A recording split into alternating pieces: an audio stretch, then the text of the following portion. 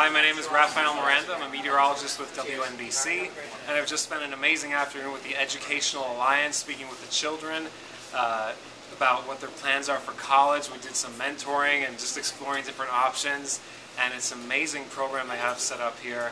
Lots of exciting things going on, and it was a great afternoon.